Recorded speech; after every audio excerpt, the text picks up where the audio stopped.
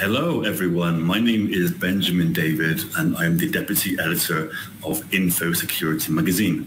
Thank you for joining us for this exciting online summit session. It's official. The metaverse is coming. Now, the company formerly known as Facebook is so committed to the idea, it renamed itself Meta to symbolize its drive or dive into this new online world.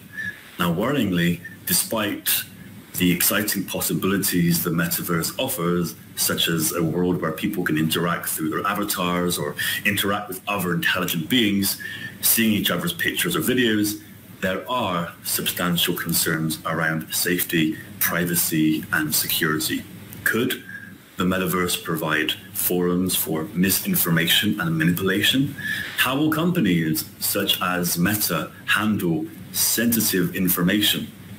This star-studded panel discussion will see cybersecurity experts and other experts, of course, explore the challenges around the metaverse, from verification and the dangers of impersonation to biometric information and how private data should be collected and used. Now, let me introduce our panel. So, We've got Zahid Anwar, who's an associate professor in computer science, Charlie Scholar at the North Dakota State University. Um, and his research focuses on cybersecurity policy and innovative cyber defense. And he has authored more than 80 publications in peer-reviewed conferences and journals. Secondly, we have Matias Madou, who's the CTO and co-founder of Secure Code Warrior and is also a researcher and developer with more than 15 years of hand-on software security experience. He's developed solutions for HP Fortify and his own company, uh, SNC Security. Over his career, Madou has led multiple application security research projects which have led to commercial products and boasts over 10 patents under his belt. We also have Janai Marankovic, who's an executive director of CISO Advisory Board for GRC for Intelligent Ecosystems Foundation. Janai, of course, is a multidisciplinary technologist and strategist with 20 years of experience in architecting, building, and securing systems at scale. She's designed and operated in real time with the top streaming ecosystems that power live sports, gaming, and entertainment. He's also worked in biomedical manufacturing and laboratory diagnostics, healthcare tech, and robotics in agriculture. And last but not least, we have Charles S. Morgan, who's a partner at McCarthy um, Tétrault, national co-leader of McCarthy's Tétrault Cyber Data Group, and of course a nationally recognized leader in cybersecurity, data protection and technology law. Charles brings deep understanding and disruptive technologies, providing practical advice to keep clients fully, um, to help clients fully exploit the promise of innovative solutions while managing risk. Now, a few housekeeping points I would like to address before we kickstart the discussion. Now, this Info Security Magazine online summit session qualifies members of ISC Squared, EC Council and the ISACA to one CPE credit based on a minimum attendance time of 50 minutes. To claim your credit, you will need to log into your Info Security Magazine member account 48 hours after the session has been completed and download your CPE certificate, which will have been generated if you meet the minimum attendance time. You are then responsible for submitting this to your accreditation body. If this is your first time joining our online summit with us, you will have been prompted to enter your CPE number at registration which enables us to ensure your CPE certificate contains the relevant information for your accreditation body to process. If you did not, your CPE number and if you did not enter your CPE number and would like to collect credits for attending future webinars, please log into your account and add those details now. CPE certificates cannot be created retrospectively. And lastly, for members of other accreditation bodies, every attendee will receive an automated thank you for attending email after the event, which can be provided as proof of attendance to claim your credit yourselves manually. This is, of course, at your accreditation body's discretion. And of course, please do submit questions to the panelists using the question functionality and be sure to tweet using the hashtag IMOS22. Now, I would like to start with a poll question for our audience. And that question is, what is your main security concern about the metaverse? So the options are impersonation, how personal information will be stored, data privacy, or malware. So that poll is now live. Do get voting. Now let's end the slides and get all of us on camera. Here we go. Um, and I want to kickstart with the following question. So a big security concern um, involves verification in the metaverse. For example, if the metaverse allows people to attend appointments with a doctor or lawyer, surely there will be an authentication process of their real world identity. What are the problems if metaverse providers fail to provide adequate verification? Tanai, can I please go to you first with that question, please? Sure, sure. And it's a great question. And thank you. Really honored to be a part of this panel. Um, you know, so I, I want to be clear. Um, you know, all providers have some level of identity and access management capabilities that are already built into their metaverse environments. And they mimic real world identity and access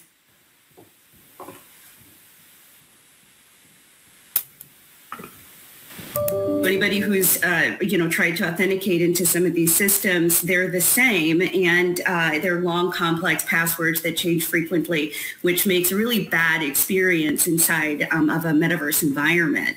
Um, but uh, the problems, um, you know, there's there's a couple. Um, you know, first we always have to go back to like what is it that we're protecting you know what asset are we protecting and what are we concerned about if it gets compromised? And what's the attacker's intent? And what attacks will the attacker use in order to compromise that asset? And so we have to be careful here because we're not only protecting like a digital asset we're also kind of protecting and defending like a physical security like control. And um, or implementing a physical security like control because there's this haptic response that you have in VR and so because you're bridging the physical the digital and the biological world you have to consider the digital person almost as a person when you're designing these identity and access management controls. So it's not just I'm trying to steal uh, uh, money. Um, it's not just uh, that I'm trying to, uh, you know, execute some type of fraud. Um, the digital person um, is an asset that you have to consider as part of that compromise. Um, and so when you're doing your threat models and so forth, you've got to model that out as one of the, uh, you know, as one of the attack models because that's, you know, that's, you know, some of the issues that you end up having to deal with. So your traditional issues of people trying to steal information and so forth, but you also have to consider the person as an asset um, because they themselves might be attacked. Really good points. Thank you. And I didn't really consider the, the fact that digital person is an asset, and that's a very um, good point. Uh, Charles, can I also go to you on the topic of verification and what uh, providers need to do to make sure they're doing it right? Sure. Um, so just by way of background, I'm, I'm sort of the, the, lawyer on the panel as opposed to the security expert. Um, and so let me let me start by saying, you know, if I go back to the, the beginning of the internet, you know, there was a concern about are there no laws that will apply on the internet? And, and, and you know, what became very clear very quickly is that the internet is not a no law land. It'll be the same thing with uh, the metaverse. Um, and the examples that you have pointed out particularly are important. You talk about a doctor or a lawyer or banking. These are regulated industries. And so no matter what the user interface is and, and the, you know, the user experience is going to be a real challenge. Getting consents in a, in a way that feels fluid is going to be a technical challenge and a ergonomic challenge.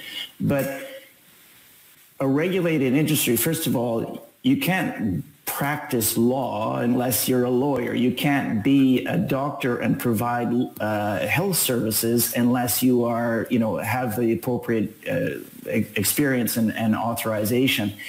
And all of these industries that you've mentioned have very important, um, you know, know your client rules. Um, so you, you, you can't start to offer the service to somebody in these regulated industries unless you've established what their identity is.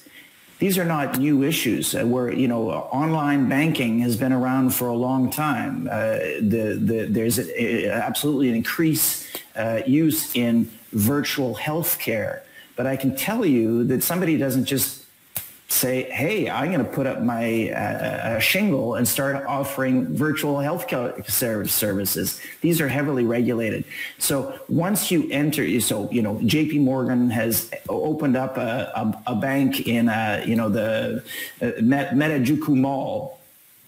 Once you're in the bank, they're going to be going through the same kind of process of ensuring that they know who you are and only offering the services that they are allowed to offer you based on the level of sophistication that you are as an investor. I mean, all the rules will continue to, to, to apply. And so I think, you know, in a nutshell, I think there are going to be some ergonomic issues about how do I make this sort of consent process and uh, identification process feel fluid but the basic regulatory requirements, especially when you're talking about collection of biometric information, which is even more regulated, and notions of express consent, which are, you know, universal in all privacy laws around the world, they are going to remain bedrock. Charles, if I may pick up on, on what you've just mentioned, um, I, I, actually see an opportunity as well where um, stuff can be verified more easily um, in the metaverse than um, in the physical world. Um, right now, if, if, if you need advice and you go to a lawyer, quite often you do not go through, you know, a hefty check to figure out if that lawyer does have all the certification and everything that is needed to, to be a lawyer. While I, I do think if, if this is done right, um, a, a, digital verification, if it actually works, um, will go through that. And if you consult with a lawyer, um, in, in a virtual environment, all these checks can be made digital and it, it can actually you know, be an improvement to where we are today. Um, and I always see the metaverse as an extension of, of, of, real life. So I think that that can be an opportunity to do better than, than in the real world. Um, and maybe one thing to, to add um, to, to something that uh, Janai was mentioning is, is around authentication. Um, one thing I see is is um, I'm, I'm, Belgian and, and I do think um, where I live um, there, there's there's a notion to authenticate yourself and, and it actually works quite well. The way you authenticate um, to get information from from the state and from the government and to access your healthcare package and everything like that actually works really well the, the, problem I see is I, I have no idea how that works in, in the UK or in France and or, or anywhere else. So I, I, know for us it works, but how that translates to a, a, global perspective, do we need to have an individual perspective or a global perspective in, in that sense? That to me is, is pretty challenging. Before I go over to, to Zahid, um, Janai, do you have any um, comments no, I, I absolutely agree. I, I think, you know, um, again, I'm going to go a little bit back towards that physical security because there's this area that's emerging called used to be converged security where you had physical, digital, and um, crisis all converging. And in metaverse, you're seeing it converging, you know, so I may go into your digital bank for the purpose of, you know, having some type of transaction. But again, because there's a haptic response, somebody can come in and hit me. Um, and I feel like I'm getting hit. And so what ends up happening is, is that there's, you know, uh, you have to consider physical security controls as part of that, that environment. Um, and digital security people aren't necessarily equipped to do that. And so I, I do, as, as we're kind of going through all of these worlds, we have to consider physical security implications in the metaverse um, because it's just like you were saying, um, it is a reflection of what's going on in the physical world. It's an extension of it. Fantastic. And Zahid, what are your thoughts around um, verification, particularly what um, ways metaverse providers should be doing proper um, verification? You're on mute. Oh, I don't think we can hear you. Are you on mute? I'm sorry, had the mute on. Uh, so I agree with my colleagues, uh, like particularly Charles mentioned that these are not new problems, right? So what happens when you are unable to verify that that urgent looking email on your phone um, is um, supposedly from your bank uh, is, uh, you know, is indeed from your bank or not. So you end up clicking on the link, you know, your credentials, your identity gets stolen, probably along with your money. Uh, it's the same kinds of problems that you'll see in the metaverse. The main difference is being uh, that it may happen a lot more often um, because of these uh, um, increased uh, sensory modalities like visual, auditory, uh, olfactory, like Jinai mentioned, you know. Um, uh, there's the haptic response there. And then there's a lot more than that these attackers can steal, right, or they could tamper with. Uh, we are already seeing uh, hackers uh, stealing your appearance, you know, the digital twins problem, right? Uh, metaverse companies are creating all these deep fakes of famous actors without explicitly gaining their consent. Uh, we are seeing incidents with apps like uh, VR chat, you know, where there's poor age verification checks uh, and then hackers can create these fake profiles. They can mix freely with minors, You can coax them for their personal information. Uh, and then other than humans, we are also seeing uh, places, right, and things like, uh, uh, you know, guerrilla artists making modifications to all these historical places like the Pollock Gallery at the New York Museum of Modern Art, you know, putting in their own paintings instead of the, the actual ones in the museum. There are other enthusiasts that are uh, adding stolen paintings back into the uh, the Gardner Museum in Boston. right. So it's it's important to prove that uh, you are who you are uh, instead of another person. Uh, and uh, going to back to your question is what should we be doing? I think. Um, uh, these solutions because um, you know we are uh, this is uncharted territory and we have uh, a lot more uh, abilities with this technology. So as these authentication verification problems arise so does uh, more or interesting more meaningful ways of doing verification. So for example we are seeing a lot of these very uh, nice uh, biometric identification uh, authentication mechanisms coming up. There's a lot of companies that are using different parts of your body uh, to be able to do things like we, we used to do with two-factor authentication with our phones. Yeah, Zahid, you actually bring up a really good point in terms of the amount of biological information that, uh, that, that gets cast off that can be leveraged for authentication. And, um, you know, there's a concept, it's called an adaptive cognitive profile, where it's where we're constantly harvesting different biological or cognitive attributes that we can use for authentication. And so when, and modulate it. Uh, and that makes it a little bit more difficult for the attacker to t- attempt to impersonate you because they don't necessarily know what attribute we're going to check for. And so uh, in a metaverse environment, and remember, metaverse also interacts with uh, with internet, other internet-based systems. There's a lot of different you know, pieces of information that we can use to collect about you to use to authenticate you. Um, regardless of the amount of privacy issues. well, I was going to say if I could just jump in on this point because I, you know, there's the security perspective, but there's also the regulatory perspective, and I, I just think it's really important for our listeners, our audience, to understand that when you're starting to think about, um, you know, using biometrics for authentication, which you know may be a, a very good thing to do, you, you can't ignore the fact that biometric, the collection and use of biometric information is heavily regulated. And I'll give, you know, a simple example uh, taken from Canada. Uh, a shopping mall uh, wanted to get a sense of who was a, t- a physical, a real shopping mall, wanted to get a sense of um, uh, uh, attributes of people who were shopping in the mall. So when you went to the uh, store guide on the screen, there would be a video taken of the people in front of you and using anonymous um, uh, video analytics, that, that video image would say, oh, this is a 42-year-old uh, male.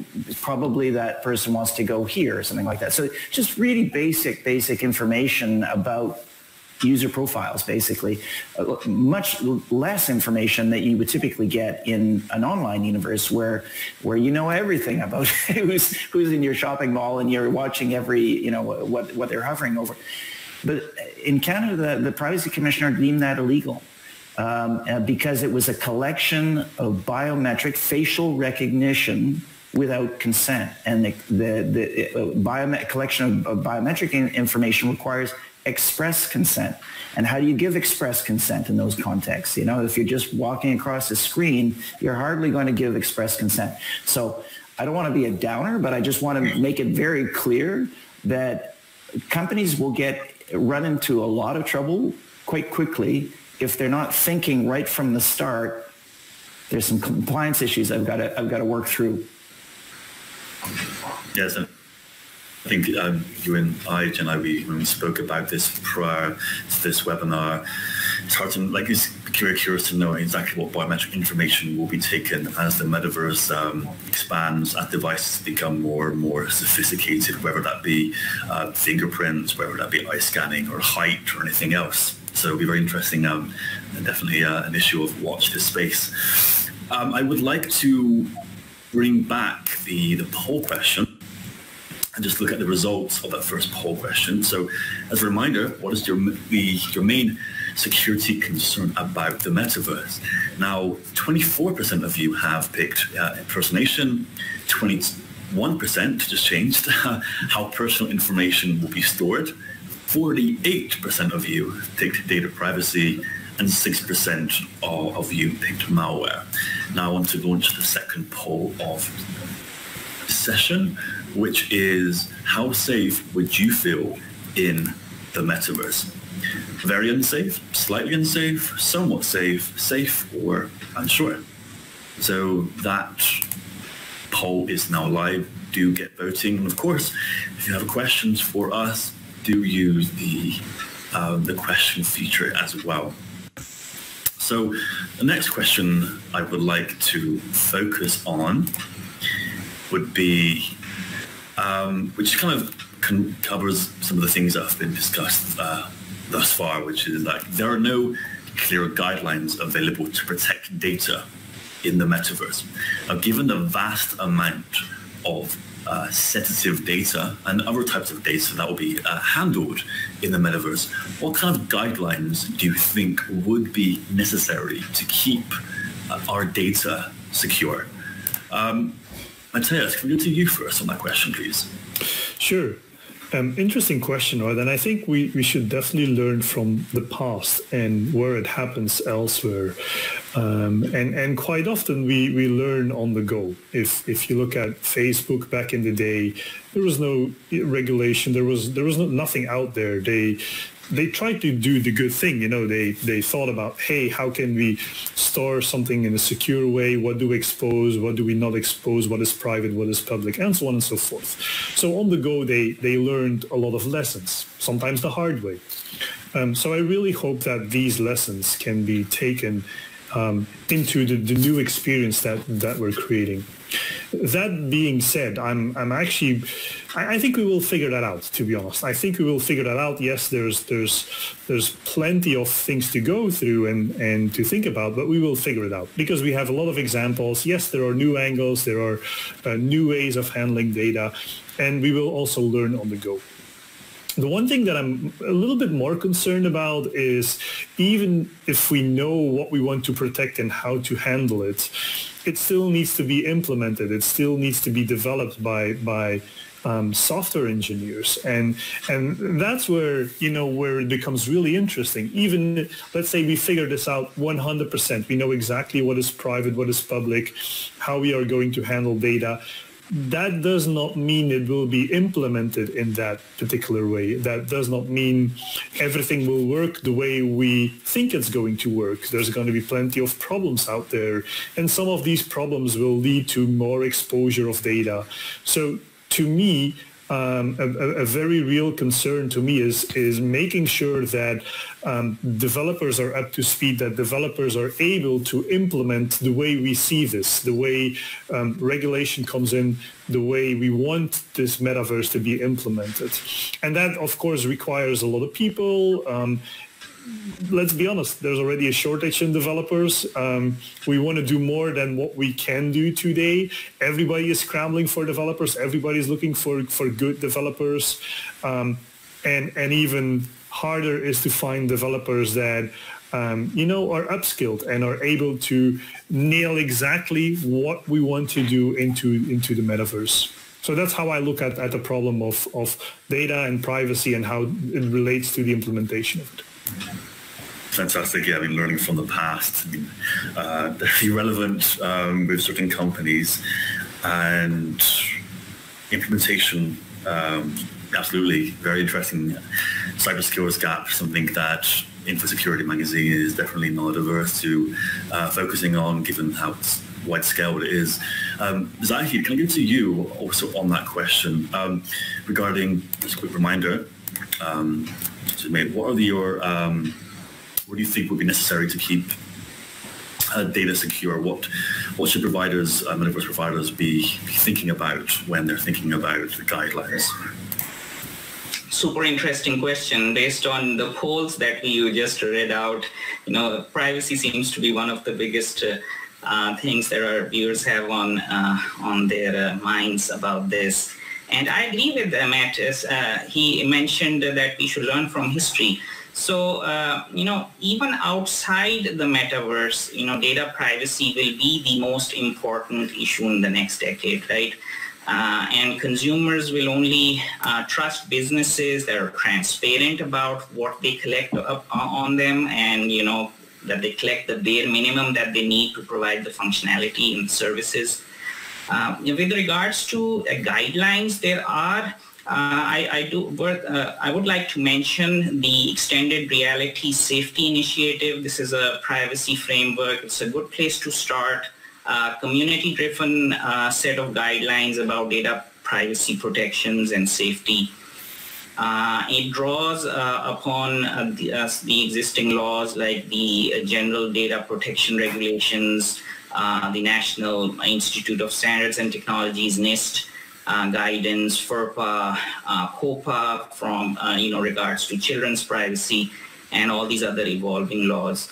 Uh, but you are right in that there is a lack of clarity regarding some key questions here. So, for example, you know, like Charles had mentioned, the, things like banks and uh, healthcare, right? So the way they do, they approach, uh, uh, you know, their data privacy is they they classify things. So they they uh, and we need to do the same. So there is a need to classify the data sensitivity, you know, the, uh, that's produced in the metaverse. We need to determine labels. Uh, and then we need to establish who's responsible, right? Uh, if a person's uh, person's personal data is stolen, and then or it's misused while they are in the metaverse, then who's really responsible for it? Uh, you know, there's data sharing agreements. Uh, we need to establish those between the different industries. We need to establish boundaries uh, between data um, in, in your real life versus your immersive life. So there's a lot of open challenges uh, today. Yeah, fantastic. I mean, towards the end of this session, we'll be focusing quite um, a lot on some of the issues that you raised, and I think you know, IT people will be thinking, okay, we're interested in the metaverse. What should our response be? Um, how can we properly train people um, to, to, deal with this, let alone just on the provider side, but also the people using it as well. So um, I never really thought about classifying data, uh, sensitivity like that. That's a very interesting point. Charles, I saw you kind of nodding um, and you had some, some points to, to, to raise. So what are your thoughts on this topic?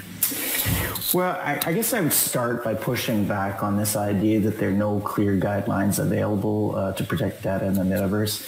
Um, they're very clear uh, data protection principles and guidelines and laws uh, that that apply to the metaverse in the same way they they've been applying to you know data collection on the internet or even in person. Um, so f- first of all, you know. GDPR, that, uh, which was mentioned, uh, that in terms of data protection laws and principles about uh, the identification of purposes before you collect information, getting express consent before you collect information, limited collection, which says that you, and data minimization about you know only collecting the personal information that you need in order to provide the service that is itself uh, legitimate, limited retention. These are all privacy principles that have a data protection. Um, implication to them. You, you're less likely to uh, have a you know a massive privacy breach if you're if you're you know limiting the collection to the information that you need. Um, and you know NIST framework, there's ISO, there's there's all kinds of security frameworks that again um, uh, that are that are going to be relevant. I guess I would say a couple of things that that are sort of just reinfor- reinforced in the in the metaverse um, that, that, we're going to see uh, as being uh, b- bigger issues. One is uh, data location issues and, and data cross-border data transfer. Uh, cross-border data transfer issues now are already problematic. There, you know, you have to understand. First of all, you have to put in place uh, you have to do, assess the adequacy of the data protection laws of the regime that you're transferring data to. And transfers of personal data from Europe, for instance, to the United States is very complicated. I'm not going to get into the details, but uh, there, there, you know, rules around Privacy Shield and, and whether the laws of the United States are adequate to protect the personal information of uh, EU data subjects in the metaverse, you know, the, the idea is fluidity, right? You want this data to flow in all directions uh, and, and without constraint. But the data protection laws are going to insist on those constraints and borders are getting thicker. So I think international data flow is going to be even more complex. The other thing that I would uh, focus on is, is vendor management. And one of the core principles that uh, was mentioned earlier is accountability. Who's responsible?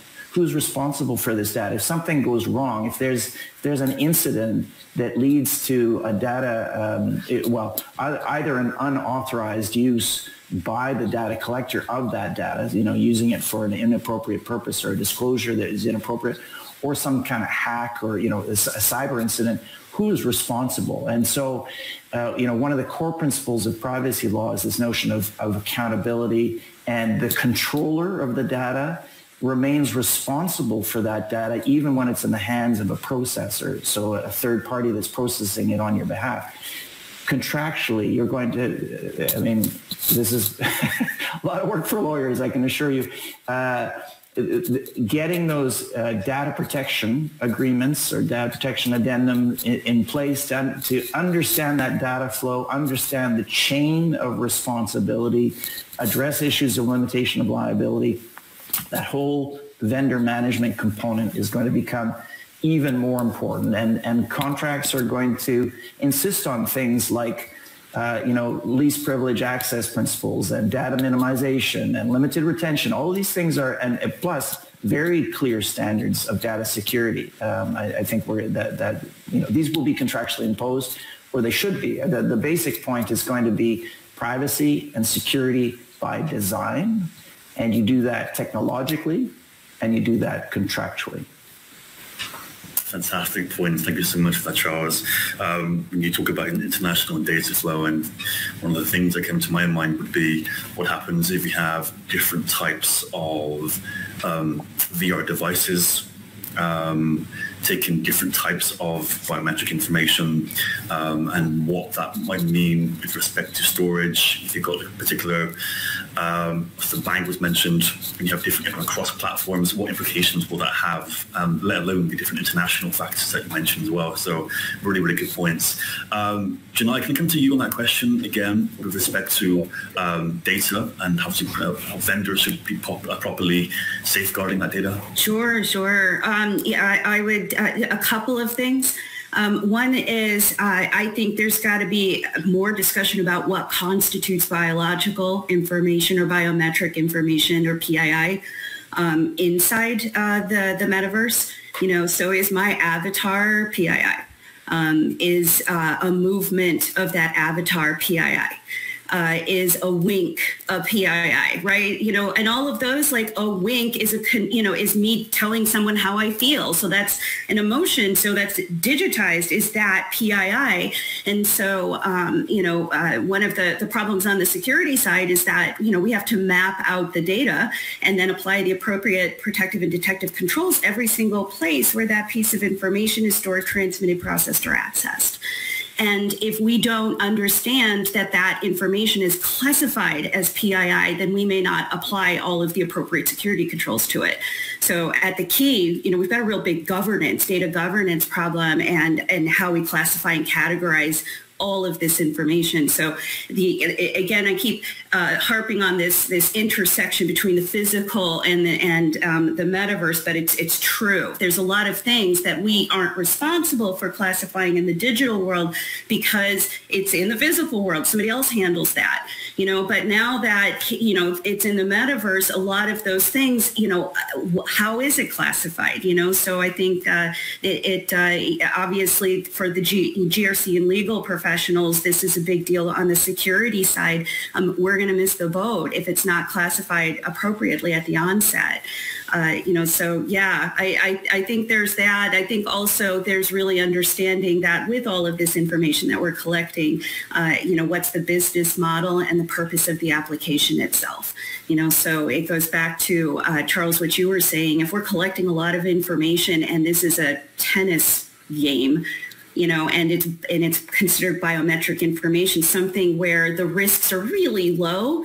The compliance requirements are going to be just overwhelming, you know. So it goes back to minimization and making sure that you're only collecting the information that you absolutely need, uh, you know, because this could become, you know, a, a very big deal. Uh, multiple states have laws now that deal with uh, bio, uh, biometric data. And, you know, almost every country has their own perception. And so eh, this is a big deal um, and it's really complex. And so you got to be really, really careful as we're going forward here. On the topic of data classification, I'm I'm sure there will be a lot of pressure from metaverse providers to ensure that once you have that initial verification, you should be able to do various things on the metaverse relatively easily. So if I were to walk down the high street and I go to a bank, of course I need to I need additional verification. But I'm guessing there might be a lot of pressure um, from metaverse providers to ensure that if there's a, robust initial verification, you should be able to kind of relatively easily enjoy um, banking on the metaverse and all these other things, which would make the possibly make the topic of um, data classification even more severe, I'm guessing.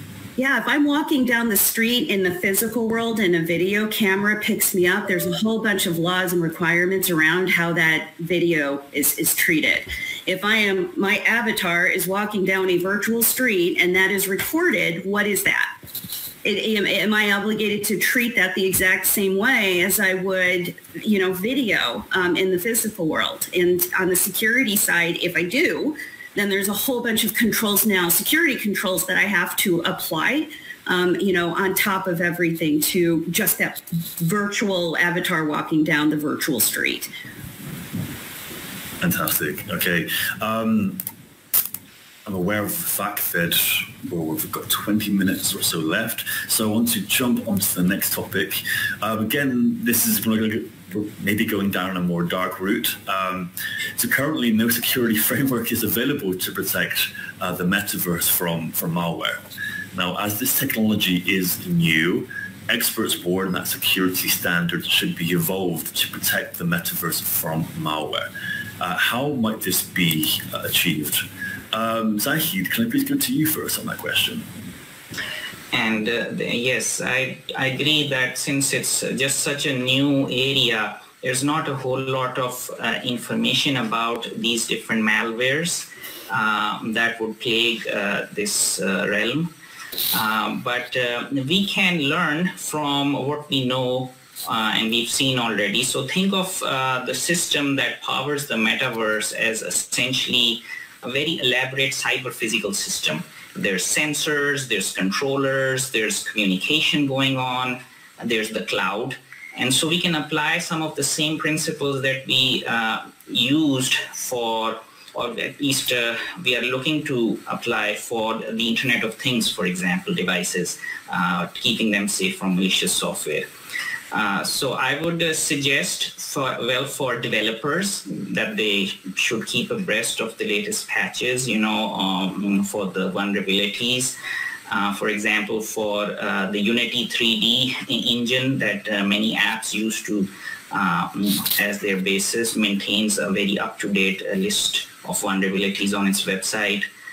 we should be using secure coding practices, making use of good bug bounty programs, um, to see if uh, people can find bugs in our systems. For the users, I would uh, suggest, um, you know, as always, changing all your default passwords. Uh, keep your software patched. Keep the operating system. Uh, Oculus is the uh, one of the popular ones. Um, those need to be kept up to date. Uh, use private networks because there's going to be a lot of you, communication with these systems. Uh, one of the uh, problems that we are seeing with some of the proof of concept malware is coming out is under, uh, people not understanding uh, the problems with side loading unofficial apps because that can put you at risk. Um, because uh, if you use something from the marketplace, then those are verified uh, more or less. they're safer to use. Uh, there are some uh, new mm, features that uh, Metaverse provides. So you have these multi-application spatial computing uh, kind of applications where users can place their virtual applications, their devices, cameras in someone else's virtual settings. And so this can uh, lead to severe privacy breaches, malware. it could um, you know, easily uh, allow adversaries to launch these new kinds of attack, attacks.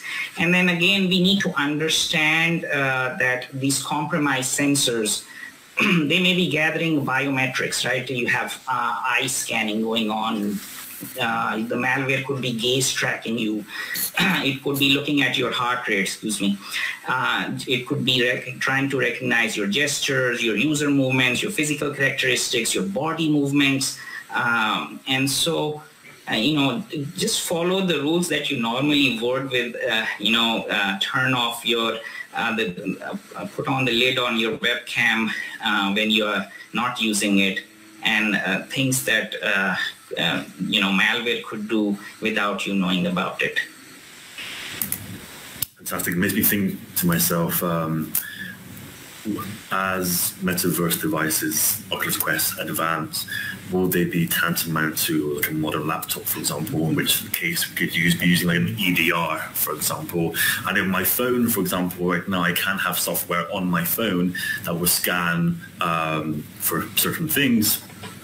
Makes you wonder whether there will be an app in the future on the Oculus marketplace that's like an antivirus or some other um, known um, cybersecurity product. So yeah, very, very interesting points. Thank you so much for that. Um, Matias, can we please go to, to you on the topic of, of malware in the metaverse? Absolutely. And, and Zahid, you made a couple of really good points over there around frameworks and, and software.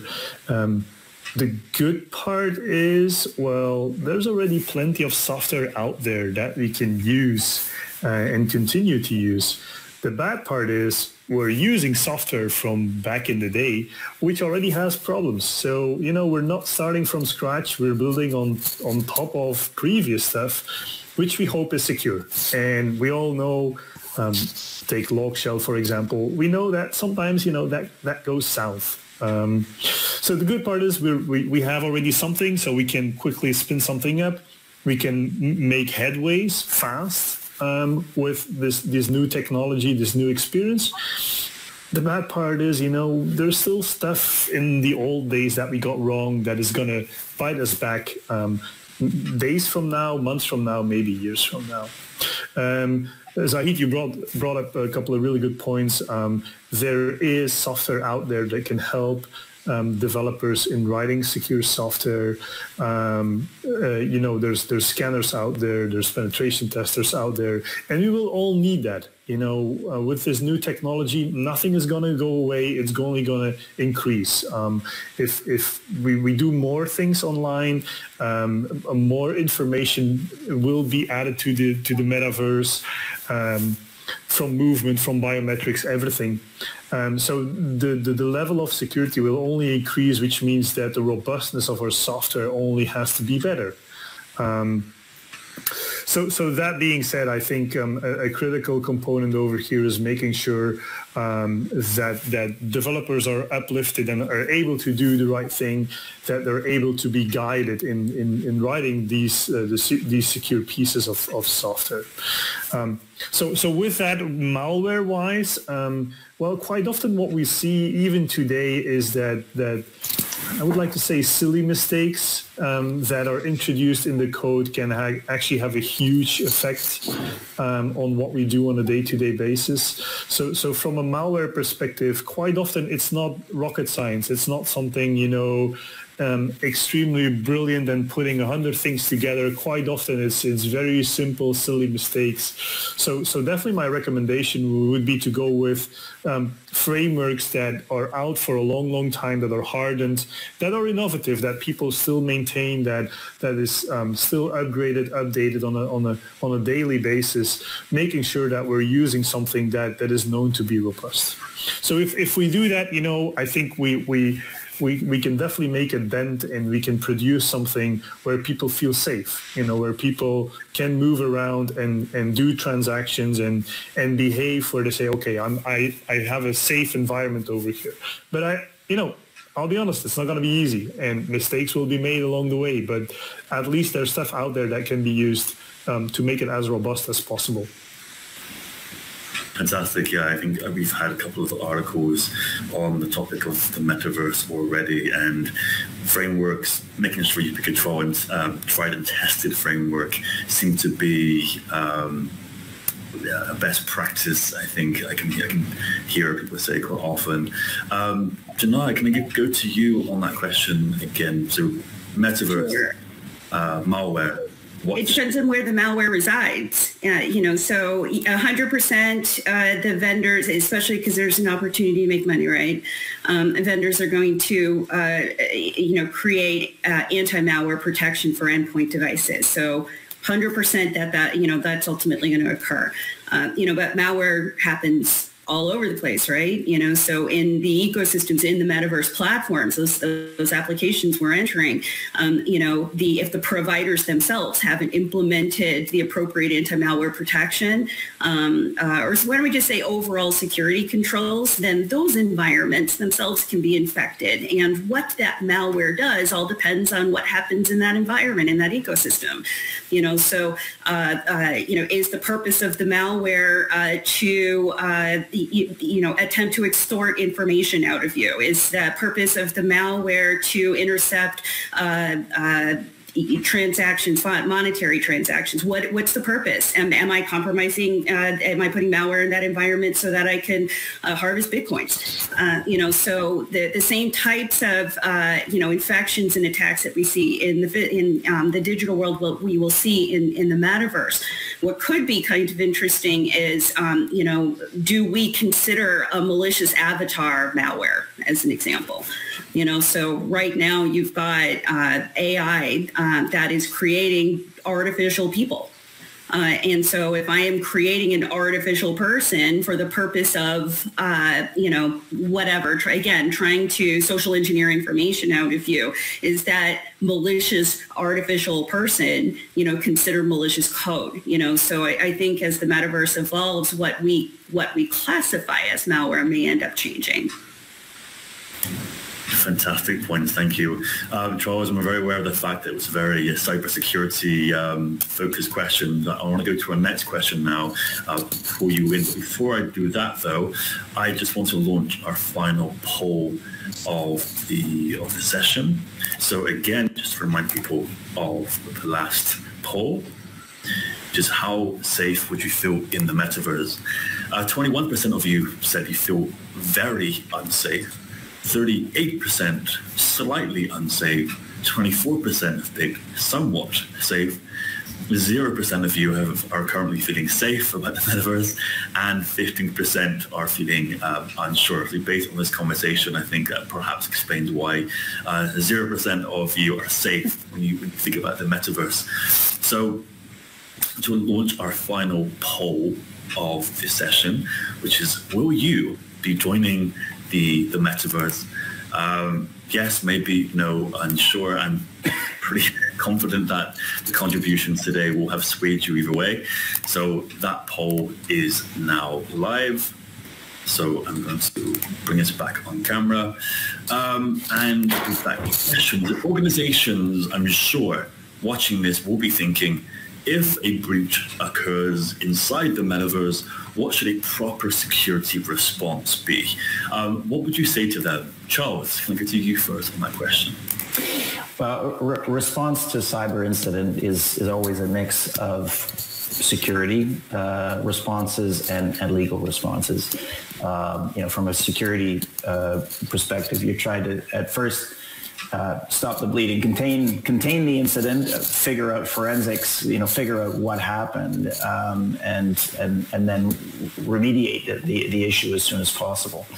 Uh, from a regulatory legal perspective, um, there's a series of things and steps that, that always uh, occur. First of all, you want to make sure all of all companies should have an incident response plan that's already been set up in advance, so that you know who's on the team, who's going to respond, and who are the vendors, third party, who, you know, what law firm are you going to bring in, what forensics firm will you bring in, and maybe you have relationships that are already set up, even with, potentially a call center.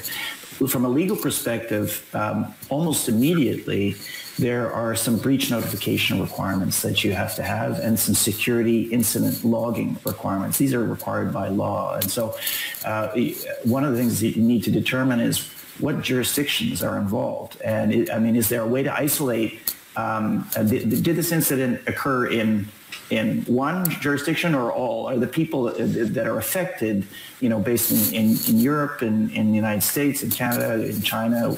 And depending on the response to that, your legal responsibility in terms of uh, notifying regulatory authorities, privacy data protection authorities, uh, or the state AG or, or, whoever may be required to, receive a breach notification uh, uh, mailing um, will vary.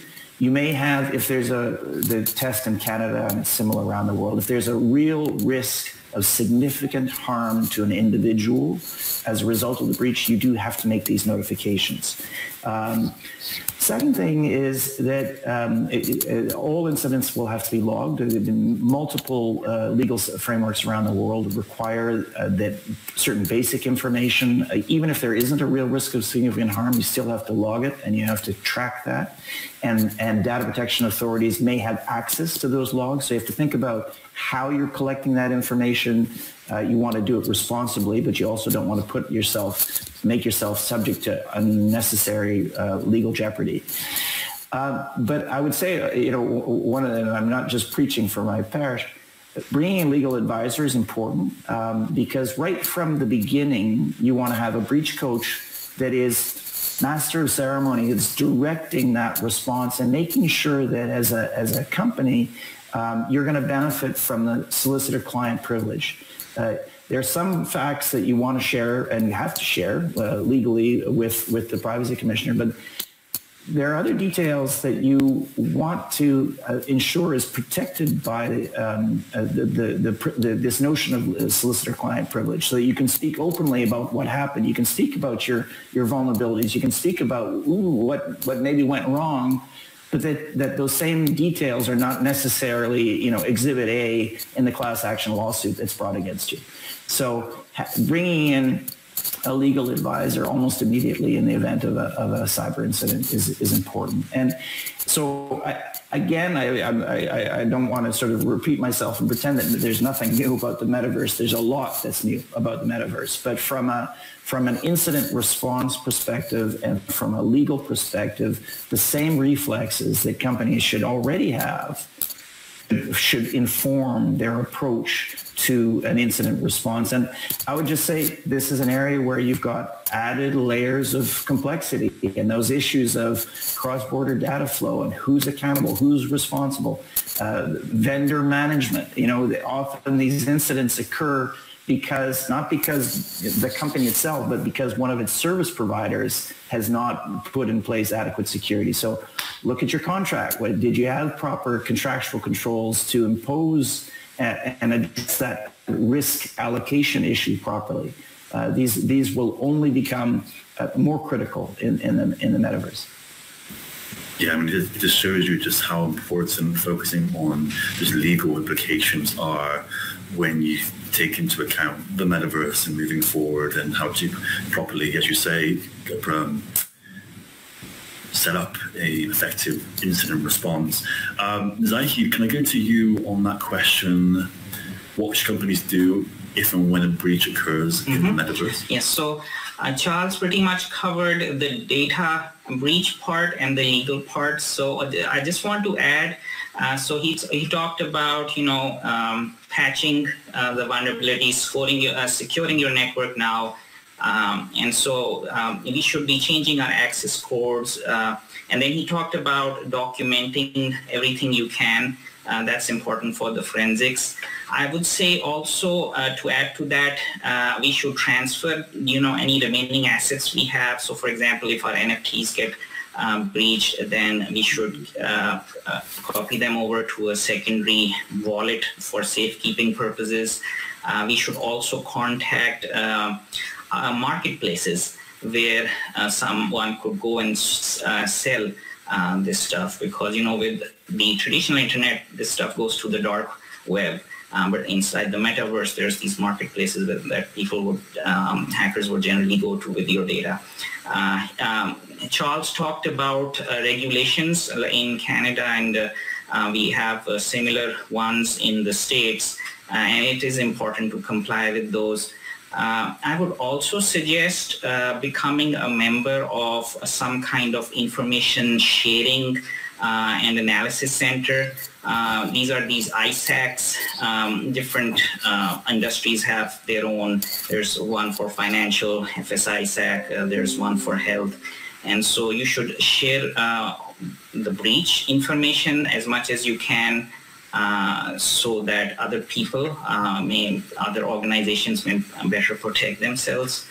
Uh, I would say um, as an organization, designate a well-informed point person in your organization uh, to provide some consistent information to your customers uh, uh, about uh, what you're doing, about um, the breach that has happened, you know, their, their data getting stolen. And then I also uh, think that that's the data breach side, right? What about privacy breaches? Uh, those uh, um, are going to be big too, right? And organizations are interestingly actually working on some innovative ways to deal with privacy breaches uh, in the metaverse. So, for example, you know, gaming is the one of the big industries uh, and that started out with. And uh, this goes back to uh, Jenai's um, comment. She made a really interesting comment about uh, our uh, uh, AI-driven avatars considered malware and i would jump on that and say yeah i mean definitely we've seen bots in on the internet right uh, uh, and now these are just equivalent uh, versions in the metaverse. And so um, there's different uh, uh companies like Horizon Worlds uh, has come up with these uh, very interesting personal boundary tools. So they create these ring of this this ring of space around avatars to keep um, these intruders out. They have these hand vanishing tools where um, you know you can protect uh, against anti. Uh, these anti harassment tools basically. Uh, Second Life has um, provided this feature where you can sit down uh, so that uh, other people uh, could can't assault you in in, in world. And then there's all these other research ideas that are uh, coming up. So for example, creating a private copy of um, a virtual store front, right? If you don't want to be observed uh, shopping for virtual underwear, uh, then you make a private copy of that so if someone can't look over your shoulder. Um, you know, uh, if you are uh, feeling like hanging out, you've uh, created a a nice pool site for yourself, but there's a lot of other avatars there uh, looking over your shoulder, then uh, you can, um, companies are looking at creating the swarm of clones of, uh, of your avatar. So uh, it's hard to figure out who's the actual one. And there's other things like teleportation and there's uh, disguising, invisibility. Uh, so yeah, those are my two cents about breaches. Fantastic. Um, unfortunately, we're going to have to um, wrap things up there because you know, I think we need kind of two hours really to be to- focusing on all these amazing topics. So um, I just want to bring up the, the, the last uh, result of the, the poll. Uh, the last poll result, rather. Uh, will you be joining the metaverse? So 11% yes, 38 maybe, 25 no, and 25 unsure. So very, very interesting results there. Um, let's end it there. Thank you, uh, Charles, Zahid, Tejas, and Jenai for joining me on this very fascinating topic. To our audience, thank you so much for all your votes. Do tune in to the next um, online summer session. And the session will be on demand, so you can always watch it again. And we will now wrap it up. Thank you very much, guys. Thank you very Thank much. you. Have a great day. Thank you. Bye-bye. Thank you. Bye-bye. Bye-bye.